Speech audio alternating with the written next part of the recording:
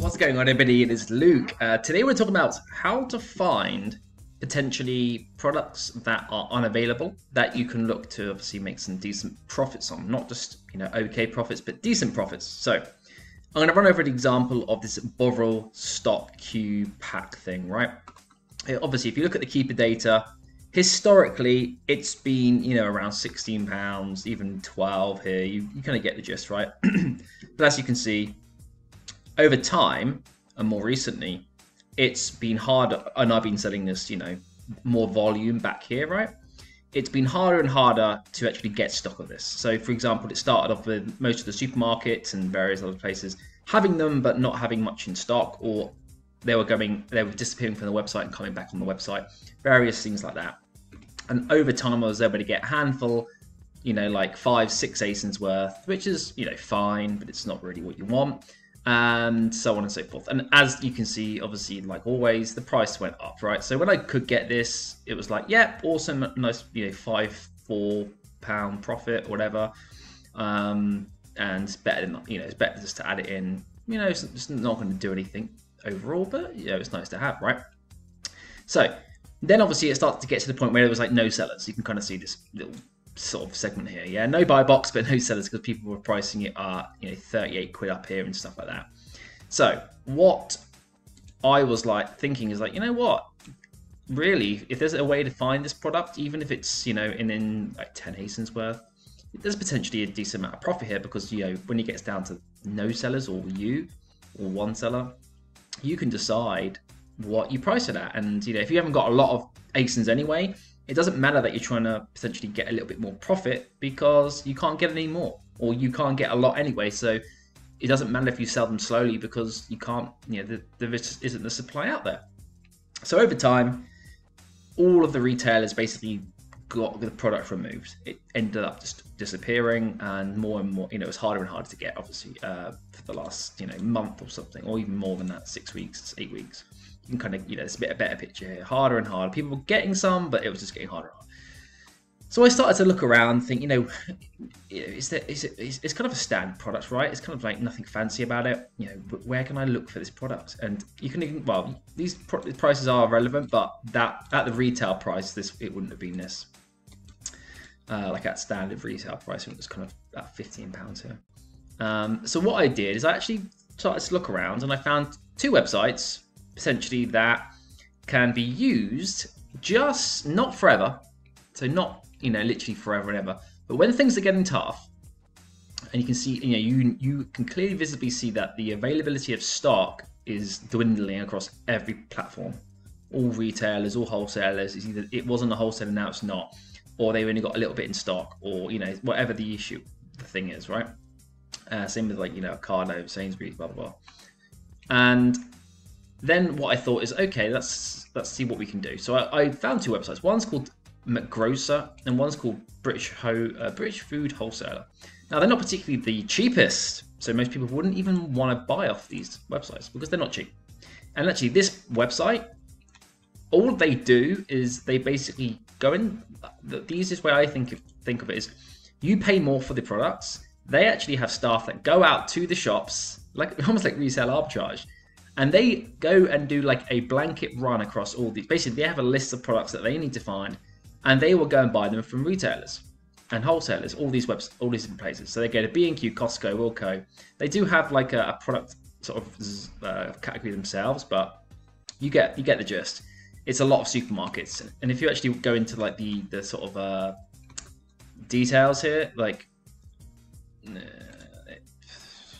doesn't actually say right off the bat, but there's a section, uh, FAQ or whatever it is, where you can go in. So, you know, if you're looking at some of these products, they're going to be overpriced. Same with this website here, overpriced.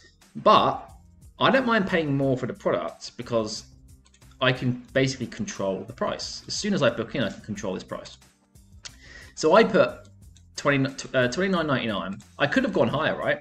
And I probably should have, but at the same time, there is no there is no buy box at twenty nine ninety nine. You can kind of see here. I, basically, that's me. You can see at twenty nine ninety nine, and I sold. I only had about ten, and I sold them within you know a handful of days at no buy box because people really want this. I'm the only seller, right? And you know, yes, I could have probably put it at thirty nine ninety nine, and you can go as high as you want, really. But I'm not greedy. It's you know, ultimately it's not going to change. It's going to make a nice profit per unit, but it's it's not a lot of units that you can sell because you can't get a lot of it. But why not if you know you've got not just one product like unavailable, but you've got five products unavailable? Obviously, you need to catch it at the right time. You can't, you know, it's going to be harder if this a product's been unavailable for a year uh, because it's most probably not. Oh, sorry, my bad. It's probably not going to be, um, you know, available anywhere when things have sort of been stopped to sell, be sell on, on websites, whatever. So, I'm going to show you on here. Hopefully, it's still on here. It might not be because they probably get rid of it. But I type in Bovril, and it's here. It's actually they're actually on. It's actually under two different uh, li- links, but it doesn't really matter.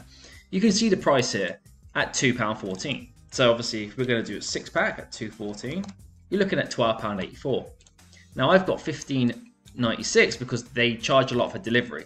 So they're probably like market, mark, marking up their delivery to make the profits on it because they're just sending it normal DPD or whatever it ends up being anyway, and it's going to just be a box of food. So it's not, you know, for them it's not going to cost. For example, on 30 or 40 units of this, it could be 30, 38 quid or 32 pound.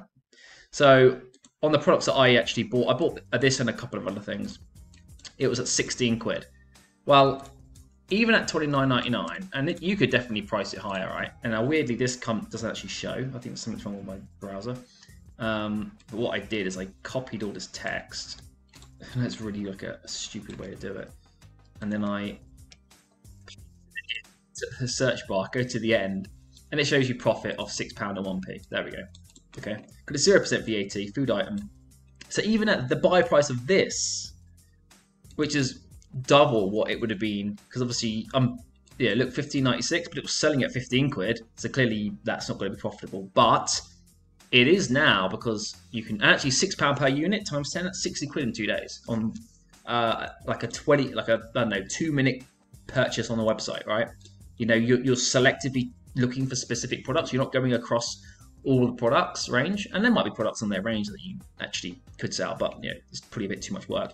But looking specifically for unavailable or out of stock, now there's going to be different if it's just if it's a temporarily unavailable product. But over the last, you know, you can kind of see here as it, it was as it was going down and then coming back into stock, it was just getting harder and harder and harder and harder and many websites it was disappearing from their website totally. So that kind of indication that they're not going to restock it, right? And it was getting worse and harder.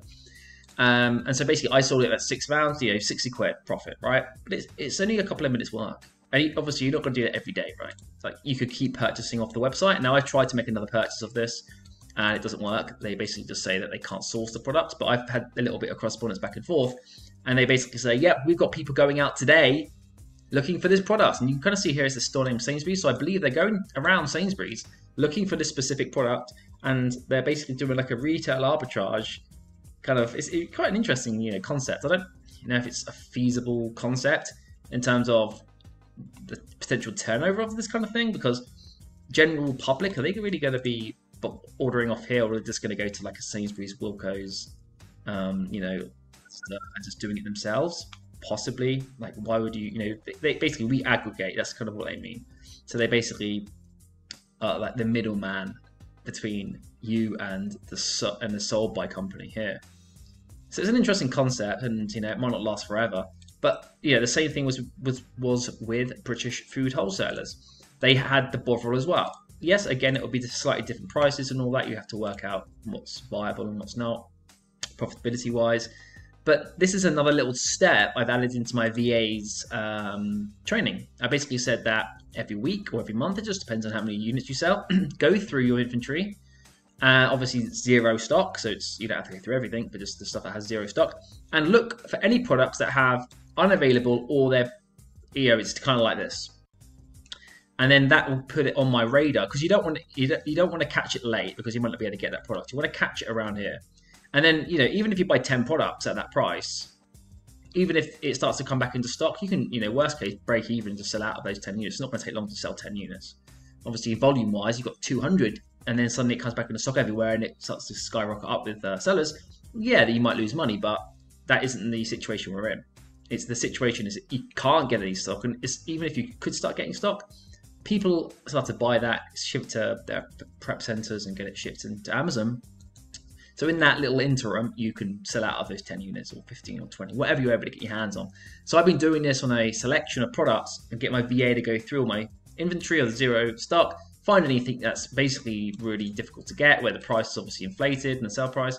And we're just, you know, going on some of these, uh, and there's a couple of other websites that are similar in terms of what they, how they uh, work. Um, and you can basically look to see if you can get them. And it's pretty much the same as doing retail arbitrage, right? um, looking for products, but I can't do that. I'm in Lithuania. I can't go and do retail arbitrage. So I'm willing to pay a little bit of a premium to a company to do retail arbitrage for me. It's kind of an interesting concept, really. It's like having, uh, it's like, you know, I'm, uh, what's the word? I got like a consultant, you know, when you pay, yes, you know, paying someone like an hourly rate or whatever um, to go out and do some retail arbitrage for me on products that have uh, you know nice sell price, which is kind of what it is, right? So you're basically just temporarily hiring a retail arbitrager to go around and get your stuff for you, and then they're going to send it to you or send it to your prep center, and everything's going to be the same as usual, and then you process it and so on and so forth. So that's pretty much the video. It's just an interesting little extra step that you can do to add uh, potentially products um, with very good profitability. Yeah, not a lot, but you know if you find a handful every month, that could be a couple hundred quid a handful of products where you're able to get 10, 15 ASINs worth, and maybe you would never be able to get it again after, and that's possible. But an extra couple of hundred quid for you know five minutes work or 10 minutes work a, a month isn't really a lot, right? Uh, and you know, and it's uh, in terms of time and everything, the VA doesn't have to spend a lot of time doing it. It's just zero stock products, and obviously once you click onto a listing, it's very easy to see if it's uh, unavailable or not, and that kind of thing. And then you know you just rinse and repeat that process, and it just adds another little potential layer of margin onto your overall monthly sales for something that you know you may have not necessarily looked at or even thought of before. So I'll leave the video there. Hope you enjoy it, and I'll see you next time.